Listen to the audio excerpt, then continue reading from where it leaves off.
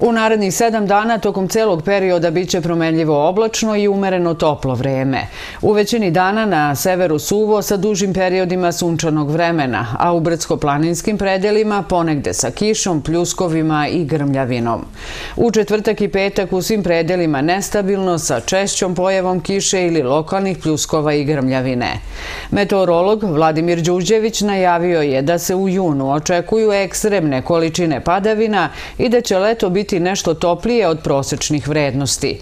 Đurđević je objasnio i šta nam donosi na dolazeći balkanski monsun.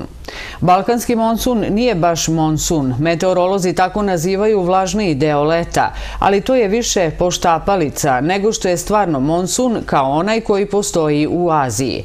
Juni je mesec kada manje više svakog dana može da dođe do nekog nevremena. Ja bih za svaki dan stavio da bude na snazi žuti meteoalarm, jer svako popodne postoji šansa za neko nevreme, rekao je Đurđević. Meteorolog je podsjetio da je juče u Austriji Austriji bilo nevreme koje se sada približava nama. Zahvatit će najviše zapad i jugozapad zemlje, dok bi Beograd trebalo da prođe bez većih padavina. Narednih dana temperatura će biti oko 28 stepeni. Od četvrtka se prema njegovim rečima očekuje na oblačenje sa kišom, ali sve je to, kako kaže, uobičajeno, jer je jun uglavnom nestabilan i sa mnogo obilnih i naglih pljuskova.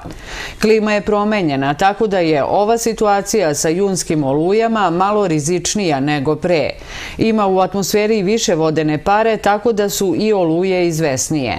Ovo leto će biti stepen do dva toplije nego prošlo. Juli i avgust su meseci kada možemo da da očekujemo toplotne talase sa temperaturama iznad 35 i 36 stepeni. Rekao je Đurđević i dodao da se ne može još govoriti o količini padavina tokom leta.